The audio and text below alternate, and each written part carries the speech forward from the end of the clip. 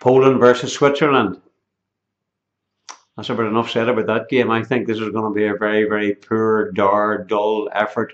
You know, uh, the Poles are strong all over the park.